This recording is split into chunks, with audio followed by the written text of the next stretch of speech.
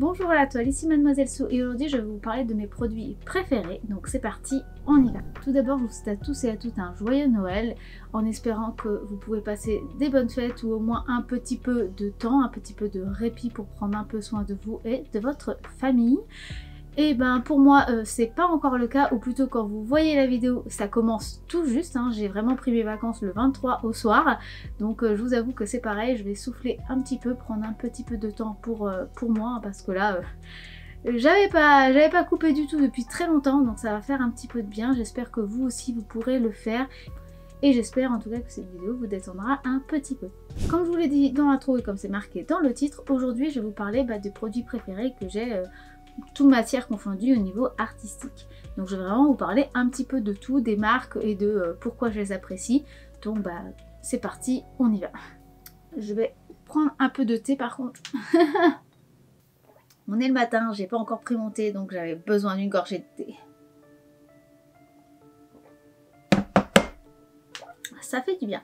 Alors, je vais commencer déjà par les produits de chez Action parce que je vous fais souvent des vidéos de revue de Action et euh, bah, même si souvent c'est un petit peu mitigé ou c'est un petit peu en demi-teinte ce que je vous dis, J'aime quand même beaucoup Action, hein. j'y vais très souvent et pas que pour acheter du matériel pour faire des tests, donc je vais vous parler bah, des produits que j'apprécie beaucoup chez eux. Le premier produit que je vais vous parler, c'est le carnet. Bon, je vous en ai parlé déjà à maintes reprises, donc je pense que pour ceux qui suivent la chaîne, vous êtes déjà bien habitué. Ce carnet, en fait, bah, euh, je l'aime beaucoup parce que bah, pour faire des petits croquis, je trouve que voilà, pour faire des petites aquarelles, des petits tests, bah, je trouve que c'est quand même vachement pratique en fait. Donc euh, j'aime vraiment beaucoup ce calepin. Alors oui, c'est pas un calepin de très bonne qualité, etc.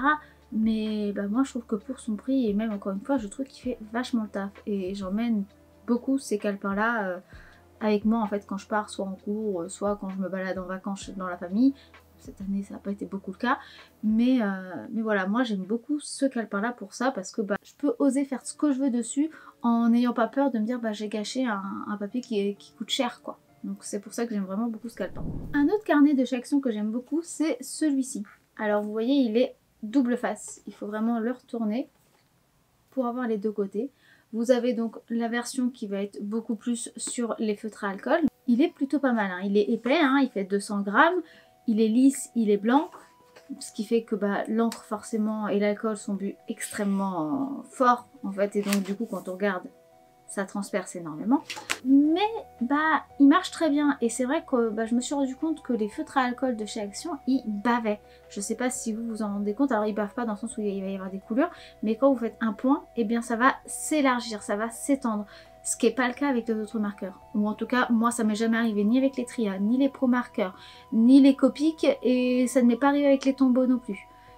Donc, euh, je pense que c'est peut-être beaucoup plus lié à Action, peut-être parce qu'ils mettent plus d'alcool que de pigments, je, ne sais pas, je vous avoue que je ne suis pas une experte dans les compositions chimiques, mais en tout cas, euh, bah, c'est vrai que ce papier-là, du coup, est vraiment bien pour pouvoir réagir avec les feutres de chez Action et précisément de la marque Decotime puisque le calepin est un calepin de chez Decotime.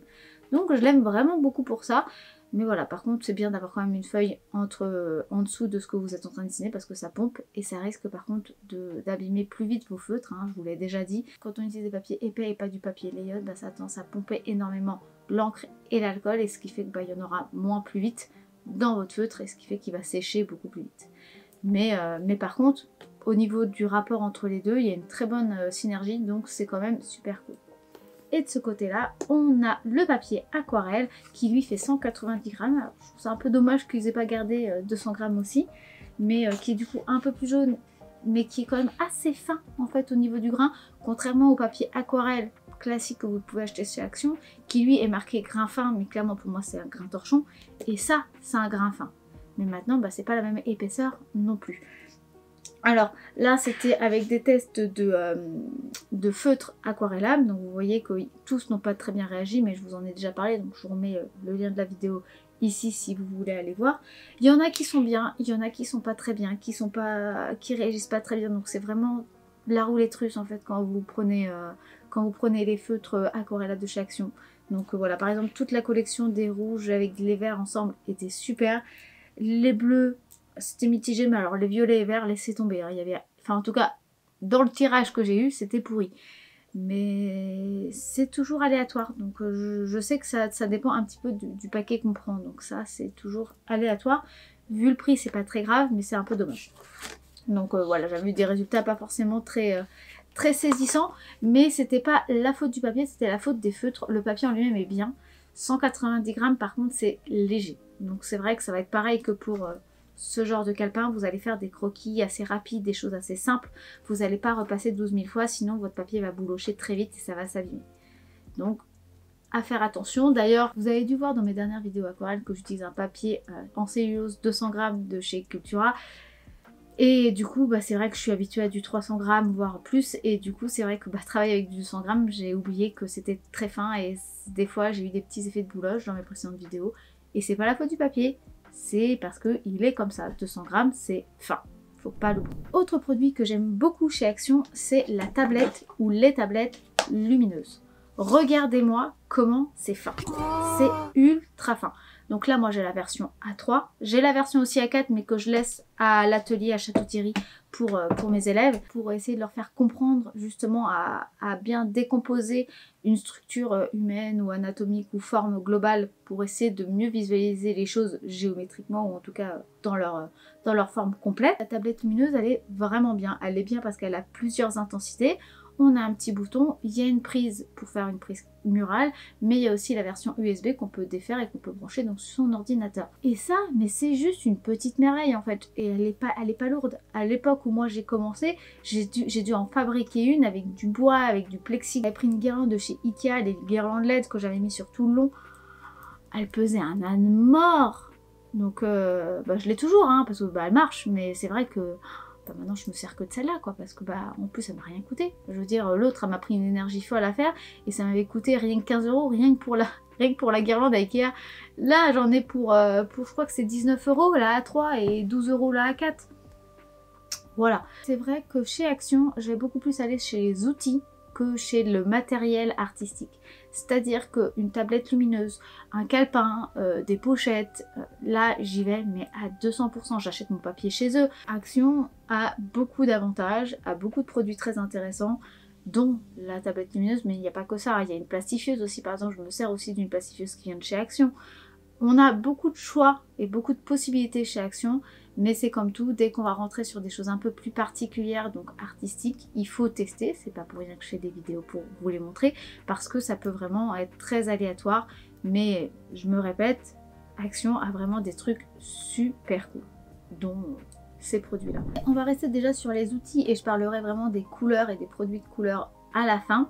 Un produit que j'aime beaucoup, que je vous ai vaguement parlé, c'est la palette en céramique. Donc là, elle est de retour en stock sur certaines boutiques comme Boesner ou Lion des Beaux-Arts, mais c'est toujours très aléatoire pour la trouver. Moi, à l'époque, je ne la trouvais pas. Ça faisait 6 mois que je la cherchais, ça faisait 6 mois qu'elle était hors stock partout et que même des fois, quand j'allais en magasin, on me regardait genre, mais de quoi elle parle?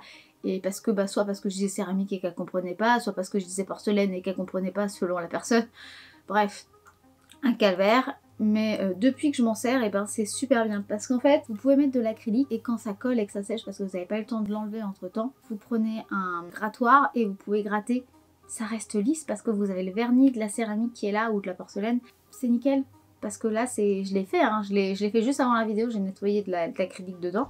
Et c'est pas rayé et c'est super bien parce que le nombre de palettes en plastique que j'ai rayées et qui après chope tout le pigment et ça, ça, ça se nettoie plus et que du coup la palette elle est tachée, c'est pas pratique pour mélanger, pour trouver les couleurs, etc. d'avoir déjà une base pas blanche en fait.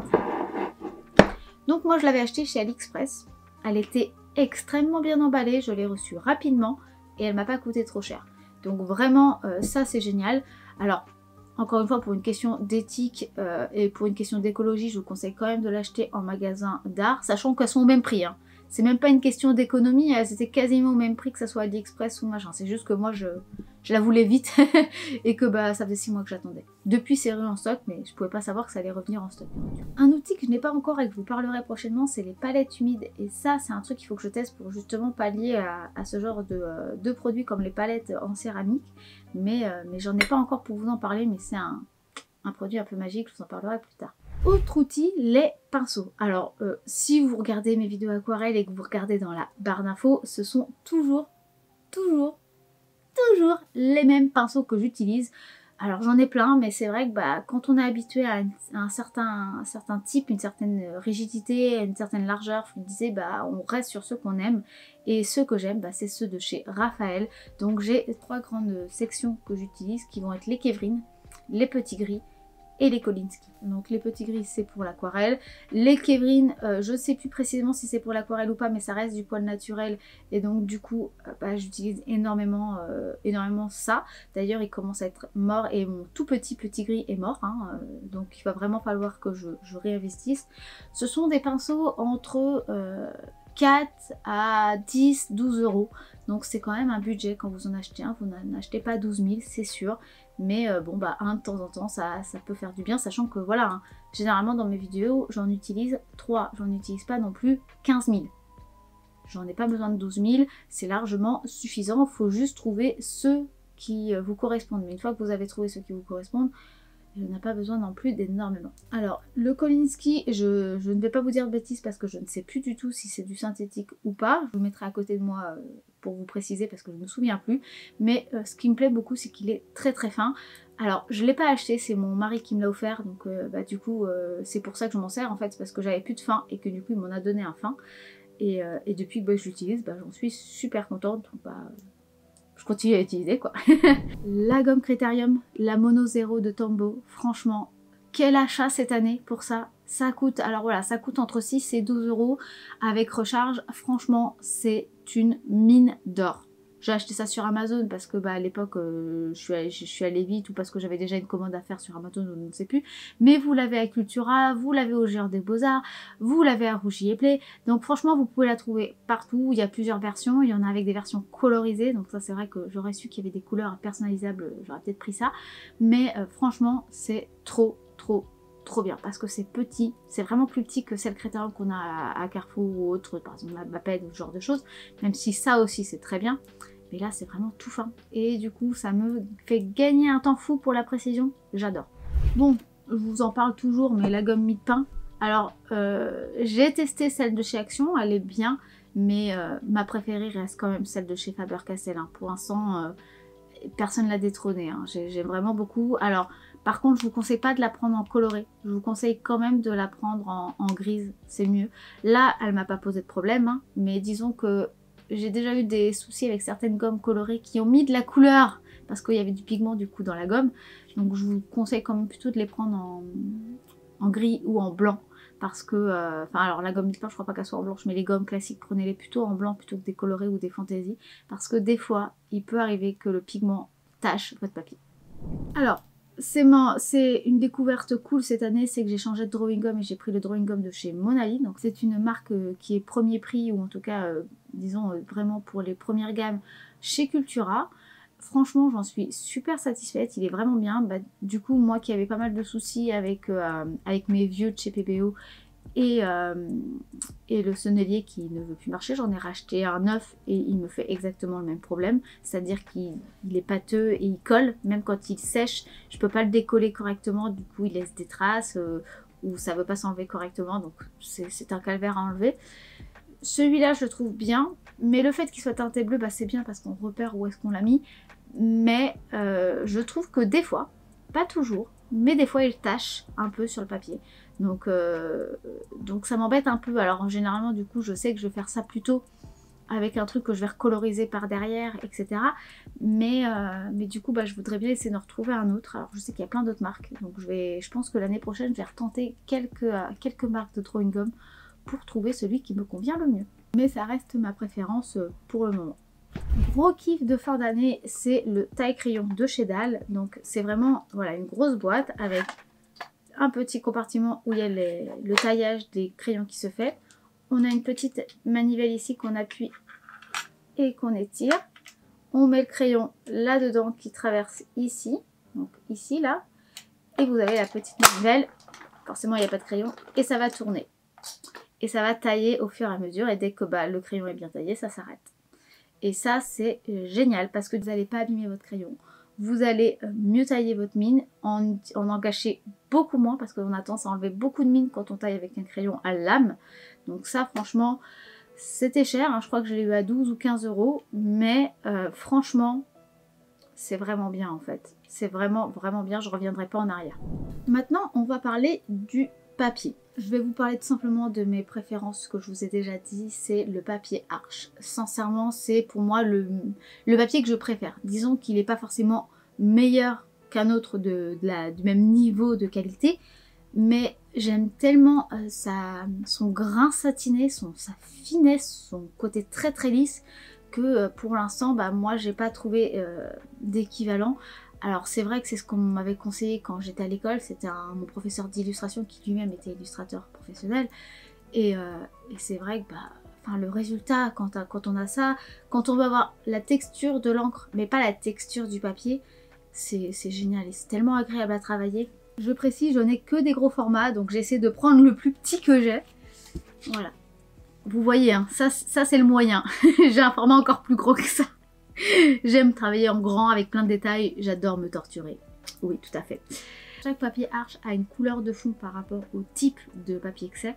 Donc là, c'est le grain satiné, donc c'est le rose. C'est vraiment le papier que je préfère parce que bah, justement, il est, il est très très lisse, très très doux et c'est génial pour pouvoir passer euh, la couleur avec. C'est du 300 grammes et c'est du 100% coton. Ça change énormément le fait d'avoir du papier coton et pas du papier cellulose. Je trouve que ça réagit beaucoup mieux. Mais c'est un budget, c'est pour ça que j'essaie souvent de tester des papiers cellulose pour vous montrer qu'on peut trouver des choses aussi pas très chères, qui sont super bien aussi, même si ce n'est pas de cette qualité-là. J'avais quand même, et j'ai toujours du coup, un peu de papier grain fin. Donc là, vous voyez, c'est le vert. Et il me semble que le orange, c'est le grain torchon. Et franchement, ça rend super bien aussi. Mais voilà, pour un grain fin, on a quand même un petit peu de texture. Mais ça reste très très léger. C'est toujours pas le grain fin de chez Action non plus. Hein. Mais, mais voilà, donc euh, c'est vraiment encore une fois du 100% coton du 300 euh, grammes, ce qui fait que c'est bien épais, c'est quand même assez lisse, ça boit bien, ça sèche bien et ça se retend bien. C'est l'avantage aussi de ces papiers là, c'est que voilà, ils vont avoir quand même une, extension pour redevenir bien lisse qui est euh, supérieure à des papiers de moins bonne qualité. Alors pour vous, euh, quand vous êtes amateur, quand vous voulez avoir un truc, si c'est pas totalement plat plat, c'est pas gênant. Mais quand on est illustrateur et qu'après on veut bah, le vendre ou qu'on veut bah, le scanner, quand c'est gondolé, bah, je peux vous assurer qu'au scannage ou à la photo, si on prend avec un appareil photo, c'est un véritable calvaire. Alors que bah, avec ça, j'ai beaucoup moins de problèmes. Autre papier que j'ai testé, donc c'était pas dans la vidéo précédente, c'était celle d'encore avant, celle pour les... Euh, c'était celle pour les aquarelles métallisées caméléon. C'est le papier euh, Penton de chez Clairefontaine. Alors, j'ai déjà testé le papier Clairefontaine et que j'aimais beaucoup, mais c'est vrai que ça fait très longtemps que j'ai pas utilisé ça, ça, fait depuis vraiment euh, mes, études, donc ça fait bien 15 ans, si c'est pas plus, je sais plus. Et franchement, bah c'était bien, mais ça date trop, donc je peux pas vous donner d'avis véritablement objectif. Là, en ayant testé celui-ci qui est un papier noir, hein, donc euh, voilà, hein, un grain d'ailleurs fin, il me semble, Franchement, il est vachement lisse. Hein. Il est plus fin que le grain fin de chez Arch, mais il est beaucoup... Bien sûr, il n'est pas satiné comme celui de chez Arch non plus. Mais du coup, c'est un, bon papier pour son prix. C'est pas écrit, mais je suppose que pour le prix, c'est du cellulose parce que ce n'était pas très cher. Et franchement, bah, j'en étais super satisfaite. Le papier n'a pas beaucoup gondolé, n'a pas beaucoup réagi. Il n'a pas gonflé énormément, etc. Donc franchement, j'étais très très satisfaite du résultat. Et euh, je travaille pas beaucoup sur noir, mais du coup, j'aimerais bien le racheter en blanc euh, et puis tester peut-être un peu plus de Clairefontaine pour voir ce qu'il rend en fait en, blanc justement pour voir la qualité. Donc c'est pareil, l'année prochaine on testera un peu plus de papier aquarelle. Maintenant qu'on a parlé de tout ça, on va parler bah, de, ce qu'on utilise pour dessiner véritablement, pas les outils mais vraiment ce qu'on va mettre sur les papiers. Je vais commencer avec les feutres, avec les encres, avec tout ce qui est contour. Moi j'ai un Criterion de chez Rotring parce que ce que j'aime beaucoup chez lui c'est qu'il est quand même assez lourd mais pas trop parce que euh, bah, euh, à force de dessiner on a tendance à se faire mal à la main et, euh, moi je dessine beaucoup hein, même si c'est des fois qu'avec mes élèves ou des fois même quand j'ai des commandes d'illustration donc ce qui est bien c'est que voilà il n'est pas non plus trop léger mais il n'est pas non plus trop lourd parce qu'il y a beaucoup de critères que je trouve trop lourd. Ce que j'aime beaucoup aussi c'est qu'il a un grip ici voilà et du coup je trouve ça très très agréable aussi à manipuler. J'aime vraiment beaucoup ça. Après il y a plusieurs tailles forcément donc moi j'utilise généralement du 0,5. Franchement c'est vraiment celui à, chaque fois auquel je reviens, j'en ai d'autres. Mais c'est toujours au Rotring que je reviens parce que bah, je, je, trouve très confortable en fait. Vraiment, j'aime vraiment beaucoup sa tenue. J'aime bien ce côté un peu, un peu creep en fait, mais pas non plus trop, euh, trop un peu marqué en fait, parce que des fois c'est un peu trop, euh, trop plastique, trop, trop mou, un peu désagréable. Là c'est juste ce qu'il faut, ça reste un peu, euh, un, un, peu satiné, un peu, un peu mat quand même au toucher, c'est agréable en fait. Donc ça c'est vraiment un critérium auquel je reviens à chaque fois. En feutre noir, je vais me répéter hein, par rapport à d'autres vidéos, mais en feutre noir ça reste les microns et les unipines parce que bah ils sont super bien, il y a plein de tailles différentes et ils sont indélébiles, ce qui fait qu'ils sont bah, vraiment génial pour moi parce que je peux commencer à faire mon crayonné, mon ancrage en noir, et ensuite je mets de la couleur par dessus et ça c'est génial. Je n'utilise l'encre de Chine et la plume que quand je sais que je vais pas mettre ça en couleur parce que bah, si je remets de l'eau sur de l'encre de Chine, l'encre de Chine elle va rebaver. Donc c'est pour ça que cela je les utilise quand je sais que je vais rajouter de la couleur ensuite. Niveau crayon à papier, j'en ai pas testé cette année euh, ni euh, vraiment ces dernières années qui m'ont marqué plus que ça. Alors moi j'en ai plein parce que j'en ai récupéré beaucoup en fait euh, euh, du, grand-père de mon mari donc c'est des vieux mais c'est vrai que bah du coup ça va être beaucoup euh, bah, Stadler, Rotring et Faber-Castell que j'ai en crayon à papier et c'est vrai que bah, ce sont des marques références. Donc franchement bah moi pour l'instant je suis plus sur eux parce que bah, j'en ai beaucoup. Donc bah, je vais pas en racheter alors j'en ai plein hein. c'est pour ça aussi que j'en ai pas spécialement testé. Mais j'ai acheté un petit lot de, de crayons à papier mat pour voir justement l'intensité du noir qui ne brille plus par rapport au gris qu'on a souvent avec les, crayons gras, euh, crayons papier. Donc ça c'est un des tests qui arrivera l'année prochaine pour vous montrer qu'on peut avoir des choses un, peu intéressantes avec du crayon à papier. Mais, euh, mais bon, on verra ça l'année prochaine. Attention par contre, euh, je vous préviens, j'ai acheté des Staedler, parce que du coup comme je vous disais j'ai l'habitude des Staedler donc je me suis dit c'est bien. J'en ai vu à Action en fait dans la partie vraiment bureautique des crayons papier Staedler HB classique avec une petite gomme au bout et comme j'ai souvent des élèves qui oublient leur crayon papier, je me suis dit que j'allais leur acheter ça, ça me coûterait pas très cher et au moins bah euh, ils ont quelque chose quoi parce que même s'ils sont censés ramener leur matériel, je vais pas leur dire bah tu, te débrouilles quoi. Non, donc du coup je voulais quand même avoir un peu de matériel à leur passer. Et je trouve qu'ils sont quand même vachement rares alors que pourtant bah j'en ai d'autres de la même marque mais qui sont pas vendus chez Action et qui sont de bien meilleure facture en fait au niveau du gras. Donc est-ce que du coup euh, c'est parce qu'ils sont chez Action et que du coup ils sont moins chers donc ils sont moins bonne qualité? Ou est-ce que c'est Stadler qui a baissé en qualité? Là je vous avoue que je ne sais pas. Mais en tout cas sachez que ceux de chez Action pour du HB ils sont quand même gras. Ils sont pas mauvais mais ils sont gras. On va passer à la couleur. Commencer avec des produits qu'on parle pas souvent et ensuite on finira avec les aquarelles euh, qu'on utilise un peu plus souvent sur cette chaîne. Donc je vais vous parler tout de suite d'acrylique. Alors je sais que c'est pas ce que vous utilisez le plus, hein, en tout cas par rapport à ceux qui suivent la chaîne, mais c'est vrai que moi j'aime beaucoup l'acrylique, c'est quelque chose que j'utilise moins ces derniers temps et j'aimerais bien m'y remettre. Mais en tout cas la marque que j'ai préférée pour l'instant toutes les marques confondues, c'est la section Louvre de Lefranc-Bourgeois. Voilà. J'aime vraiment beaucoup ces pots. Alors je les avais trouvées en occasion dans un magasin de, grande surface, un Super U ou, Carrefour ou un truc comme ça. Et en fait c'est qu'il y avait eu un défaut d'étiquetage. Donc en fait, vous voyez là il y a une étiquette qui se décolle. Donc ils, donc ils ont remodifié l'étiquetage mais du coup ils n'ont pas pu les vendre dans les magasins d'art. Et c'est un magasin de grande surface qui les ont récupérés et qui en ont fait des promotions. Donc j'avais acheté mais une blinde d'acrylique J'en ai encore alors que ça doit faire 12 ans, que, entre 10 et 12 ans que je les ai. Donc sincèrement, ils sont toujours super bien alors qu'ils sont vachement vieux. Ils n'ont pas séché à l'intérieur, ils sont intacts. Et c'est l'acrylique pour l'instant que je préfère, que je trouve la plus couvrante, que je trouve la, plus, euh, la plus élastique aussi, qui réagit bien aussi à tout ça, qui n'a pas des fois des effets de coulure qu'on peut avoir ou des euh, transparences, même avec le jaune, alors que le jaune ça commence à être très très transparent. Vraiment, pour l'instant, c'est mon acrylique préféré. J'aime quand même beaucoup PBO. D'ailleurs, faut vous montre. Alors, j'aime d'ailleurs aussi beaucoup PBO, mais étant donné que j'avais beaucoup de Louvre, bah, j'ai pas beaucoup testé la, marque Studio Acrylique de chez, euh, de chez PBO. J'ai testé les basiques, hein, parce que ça c'est les premiers acryliques que j'ai eu quand j'étais euh, quand j'étais adolescente, quand j'étais au lycée ils sont bien, mais il y a certaines couleurs qui vont avoir des inconsistances, genre euh, par exemple qui vont couler ou qui vont avoir une euh, transparence très marquée qui va être du coup très délicat à charger et avoir quelque chose d'opaque et surtout d'avoir quelque chose de lisse. On va souvent avoir des traces de pinceau. Donc les basiques, bah, comme on a dit, c'est des basiques. Donc c'est les moyenne gamme ou même première gamme, je dirais, dans, dans les loisirs créatifs. Donc c'est toujours mieux que beaucoup d'acryliques de chez Action, mais c'est pas, disons, ce que moi je préfère. Je vais préférer aller chez les PBO qui vont avoir une meilleure qualité ou, bah, comme je vous l'ai dit, hein, sur, les lourds. Hein. D'ailleurs, le blanc et le noir, je les ai carrément en gros gros pot. Pendant un temps, ils étaient chez Cultura et il y avait des fois des promos, donc euh, je m'étais jeté dessus pour avoir le blanc et le noir. Et euh, bah maintenant, euh, c'est un petit peu... des fois, il y en a, des fois, il n'y en a pas. Ça dépend des Cultura aussi. Mais franchement, j'aime énormément ces pots-là.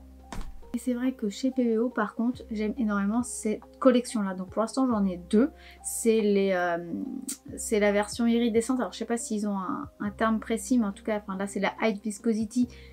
Mais c'est les versions iridescentes. Donc j'ai le bleu noir iridescent et j'ai le vert bleu iridescent.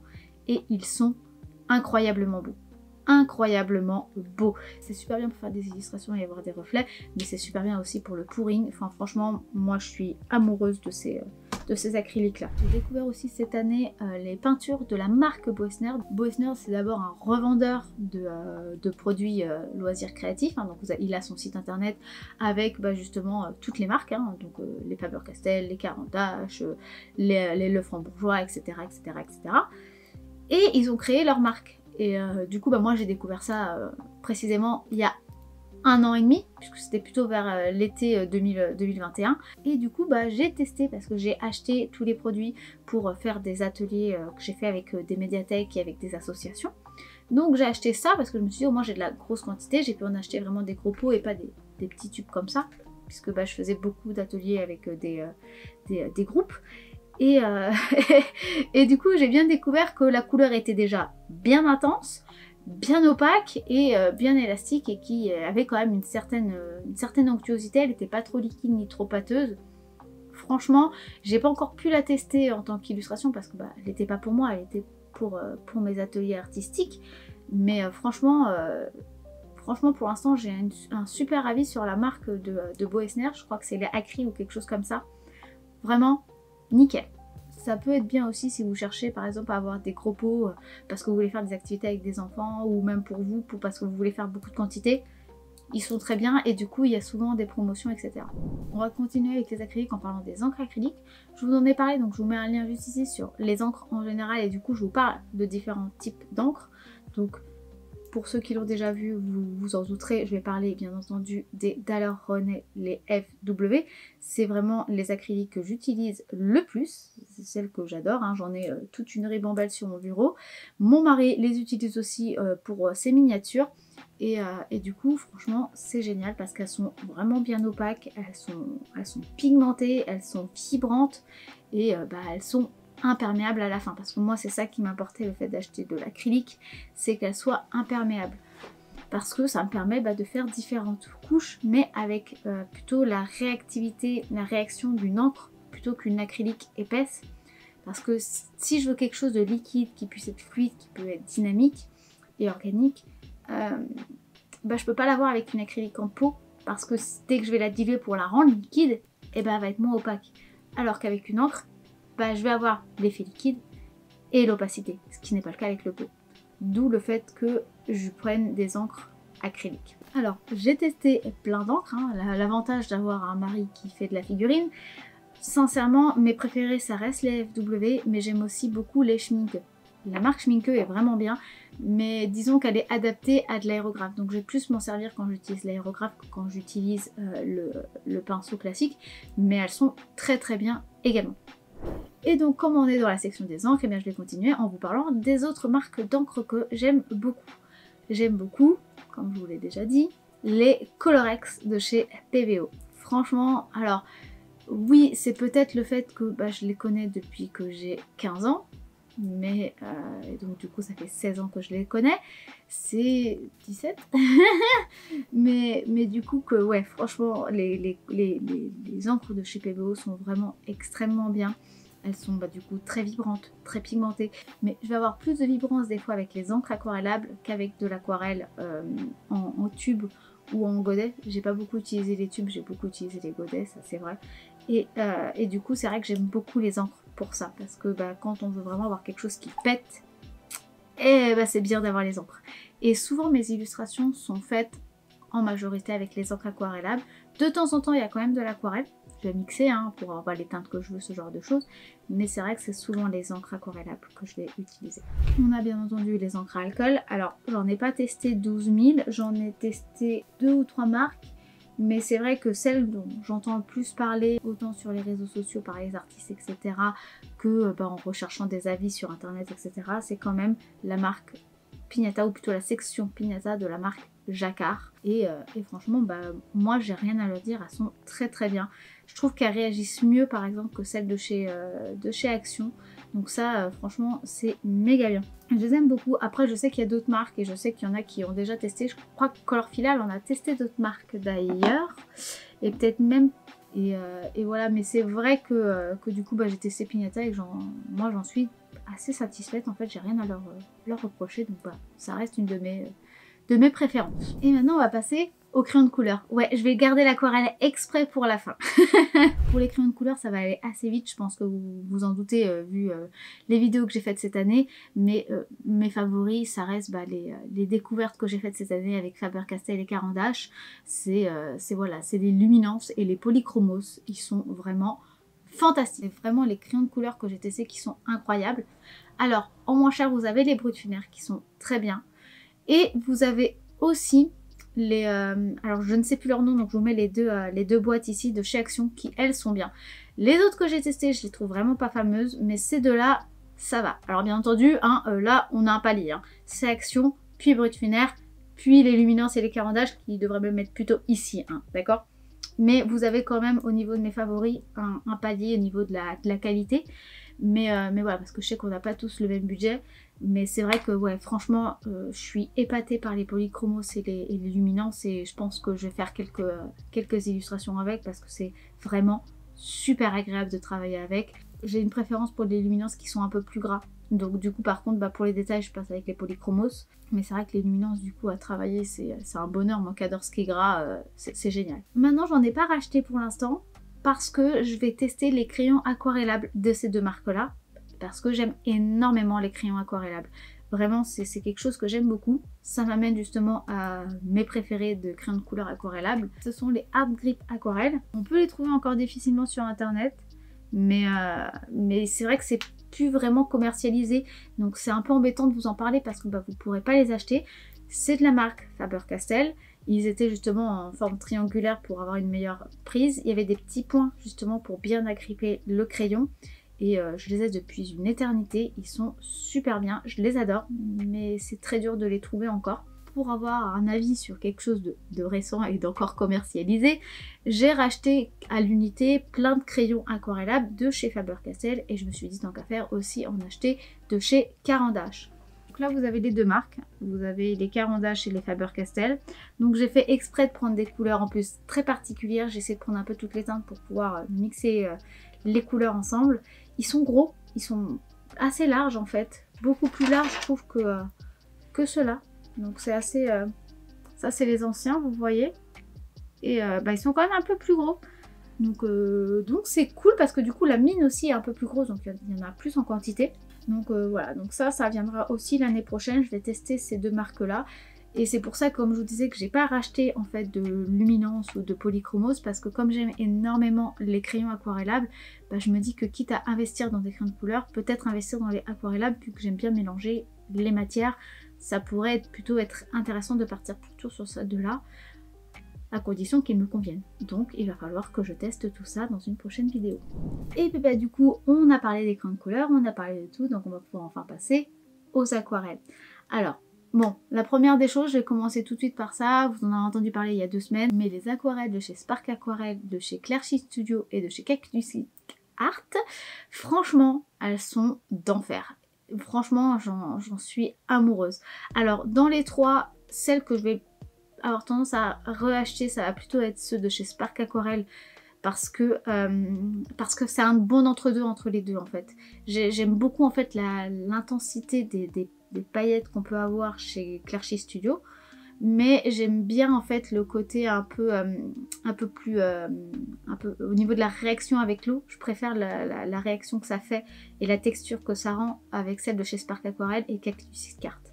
Donc Spark Aquarelle, elle est vraiment en plein milieu, donc c'est vraiment ma préférée des trois.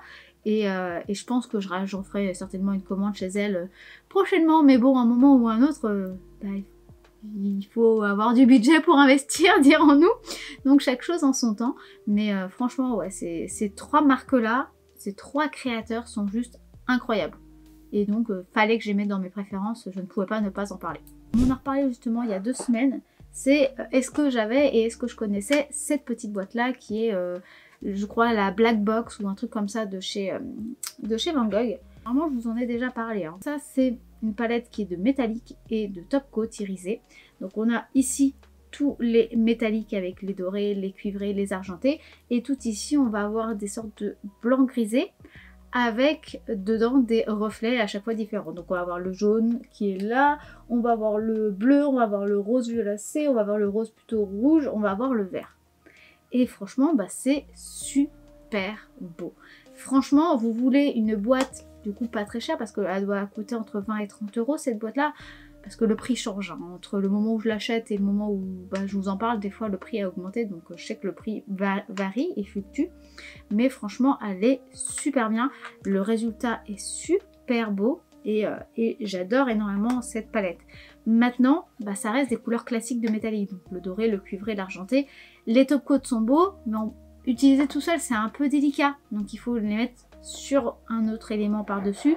Et c'est pour ça en fait que bah, les aquarelles caméléons, les aquarelles métalliques pailletées que je vous ai parlé bah, il y a deux semaines, c'est parce que ça, il n'y a pas en fait dans cette palette là. Et que bah, c'est vrai que des fois c'est bien d'avoir d'autres nuances de couleurs, d'autres paillettes. C'est pas la même chose que juste du doré ou de l'argenté. Et la dernière des choses, c'est donc les aquarelles qui sont mes préférées. Alors là, je vous montre, attention, hein, c'est pas beau du tout, mais bah, au moins je vous montre la réalité. Ma palette d'aquarelles que j'utilise tout le temps. Donc il y a d'ailleurs un petit godet là qui se balade tout seul de jaune parce que celui-là il est quasiment, quasiment fini. Et du coup j'en ai racheté un. Donc je me sers celui-là plus pour faire un vert jaune que pour du jaune et je me sers de celui-là en tant que jaune. C'est pas comme ça qu'il faut faire mais bon, c'est comme ça que je fais. Et on a, j'ai donc tout ça, tout cela qui sont accrochés, qui sont bien de chez Winsor Newton. Et tout cela avec le jaune et tous ceux qui sont ici ce sont les Van Gogh. Donc comme ça, au moins, je sais lesquelles sont Winsor Newton et lesquelles sont de chez Van Gogh. Et franchement, je les adore. Elles sont toutes super bien. Elles sont, bien pigmentées, elles sont bien vibrantes, même si elles n'ont pas toujours la vibrance comme sur une encre aquarellable, mais c'est normal, c'est pas une encre, c'est un godet. Mais euh, franchement, la, couleur est là, la, vibrance est là, il y a des chouettes nuances de couleurs et, euh, et l'opacité est là aussi. Donc franchement, j'aime énormément ces marques-là il faut que je teste d'autres marques. Donc par exemple, je sais que le Franc-Bourgeois en fait, je sais que PBO s'est lancé là-dedans aussi, et j'ai bien sûr sonné qu'il faudrait que je teste pour bah, voir justement, les, par exemple, peut-être un kit de Marie Bourdon, ça pourrait pas mal de tester ça aussi. N'hésitez pas à me dire en commentaire euh, bah, euh, les trucs qui vous intéresseraient le plus que je teste justement pour l'année prochaine, comme ça j'aurai des sujets à préparer en avance. Dites-moi hein, que ça soit des sujets de tuto dessin, que ça soit des sujets de produits à tester. Je sais par exemple qu'on m'a demandé de tester de l'aquarelle, euh, ah comment ça s'appelle, granuleuse. Donc je pensais peut-être prendre celle de chez Schminke pour tester. Donc voilà, donc euh, par exemple n'hésitez pas à me dire ce genre de choses aussi en commentaire, comme ça je le retiens et je le ferai par la suite. Ah si, il y a un truc que je vous ai pas dit. Je vous l'ai déjà dit 12 000 fois, je vous le dis dans toutes mes vidéos, mais c'est un outil, le 3M Blue Tape, qui est vraiment bien. Donc ça c'est euh, ça c'est bien aussi tout le temps. Mais voilà, j'ai oublié de le dire ça. Mais je pense que ça, vous le voyez assez souvent dans mes vidéos. Avant de finir cette vidéo, bah, comme c'est Noël, j'avais envie de vous faire un petit cadeau et donc de refaire un petit concours avec euh, bah, justement euh, des choses qui sont liées à ce que j'ai pu tester ou à ce que j'ai pu faire cette année. Donc ça va être une petite pochette cadeau avec quelques feutres à alcool, avec euh, l'échantillon de Spark Aquarelle de Voyage en Grèce. Donc ça me frustre un peu parce que j'avais grave envie de la tester, mais je vais vous l'offrir, comme ça vous pourrez, euh, vous pourrez l'avoir, quitte à ce que moi je m'achète le, pack complet euh, plus tard. Donc vous aurez aussi euh, ce petit échantillon là, et il y aura aussi le savon de Noël du savonnier Les Mille Bulles. C'est un savonnier avec qui j'ai travaillé cette année pour faire les illustrations de, de pas mal de ces savons, dont ce savon de Noël. Je vous montre un petit peu à quoi ça ressemble. Voilà, on est parti sur l'idée de la pose de, euh, de de Rive dans la baignoire avec un Père Noël à la place, bien entendu, pour, euh, pour rester dans les fêtes de Noël. Donc quelque chose de pas trop sexy mais quand même d'un petit peu funky et rigolo. Et franchement, pendant tout le temps où j'ai réalisé l'illustration, je me suis tapé des barres. C'était vraiment très très drôle à réaliser. J'ai vraiment, euh, je me suis vraiment bien amusée à la faire. J'espère que ça vous plaira. En tout cas, il sent super bon. Je sais plus du tout la saveur. Je, je revérifierai parce que je sais qu'il avait fait un il avait fait un sondage pour euh, choisir la saveur, qui, l'odeur qui était la plus demandée dans, ses abonnés. Euh, et, donc voilà, donc c'est un savon qui est artisanal et qui est français. Et franchement, ces savons sont super bien. Donc voilà, donc je vous l'offre en concours avec, donc je répète, la petite, euh, la petite, le petit échantillon de voyage en Grèce et quelques feutres à alcool. Pour participer, c'est comme le précédent concours. Vous likez la vidéo, vous, la vous commentez sous cette vidéo en disant bah, que vous participez au concours et vous me dites bah, si vous pouvez me dire bah, justement quelle sorte de vidéo vous aimeriez voir prochainement sur la chaîne. Donc soit des tests, soit par exemple des challenges euh, ou euh, par exemple des vlogs. Enfin, n'hésitez pas à me dire ce qui vous intéresserait de voir sur cette chaîne euh, et, du coup de le mettre en commentaire. Moi ce que je ferai c'est que je ferai un tirage au sort, donc la semaine d'après, euh, je pense certainement juste avant le nouvel an ou juste après, ça, dépendra de mon état physique. Mais dans tous les cas, je ferai un live sur, euh, sur Instagram et j'annoncerai le gagnant dans la description de cette vidéo aussi et je contacterai bien entendu le gagnant. Comme ça, tout le monde pourra voir qui a gagné et euh, comme ça vous, vous pourrez voir bah, si vous avez gagné ou pas. Et, puis du coup cette vidéo est terminée donc n'hésitez pas à la liker si ce n'est pas encore fait, vous pouvez la commenter et la partager si vous voulez me soutenir, m'aider un petit peu parce que ça fait vraiment beaucoup en fait au niveau euh, bah, de l'algorithme. Merci beaucoup à tous ceux qui le font, qui continuent à me soutenir toutes les semaines. Merci beaucoup à vous tous. Et puis sur ce moi je vous dis à dimanche prochain midi pour une nouvelle vidéo et je vous fais des bisous. Bye j'avais envie, alors je vous le dis ça en fin de vidéo, donc je sais qu'il y a quasiment personne qui verra ce passage, mais j'avais envie justement de, euh, faire peut-être un peu plus de, pas de vlog, mais un peu plus d'illustrations que moi je fais et de les filmer pour montrer comment je fais mes illustrations, en sachant que bah, ce serait sur plusieurs jours, parce que moi je mets plusieurs jours à faire mes illustrations, vu que je fais ça pendant le temps où je ne suis pas en train de faire mes cours, et que c'est long, parce que du coup je peaufine énormément mes dessins. Mais du coup, euh, je savais pas si ça vous plairait ou pas, parce que c'est ce que j'avais commencé à à faire de façon très intéressante sur mes toutes premières vidéos il y a très longtemps sur ma chaîne. Mais je sais pas si ça vous plairait vraiment ou, bah, ou pas. Et du coup, bah, bah, du coup, si ça vous plaît pas, je vois pas à quoi ça servirait que je le fasse. Donc euh, si ça vous intéresse, dites-le moi en commentaire, même si de toute façon je pense pas qu'il y aura beaucoup de commentaires qui me le dira, vu qu'il y en a pas beaucoup qui iront jusqu'à la fin de cette vidéo. Mais bon, au cas où, je le dis quand même, et puis bah dites-le moi si, ça vous intéresse. Entre Noël, les inspirations slaves et... Euh, et mercredi Adam, c'est vrai que ça m'a redonné envie de me recoiffer comme ça, mais euh, ça fait quand ça me vieillit beaucoup, je trouve, quand même. Mais bon, bref. C'est comme ça.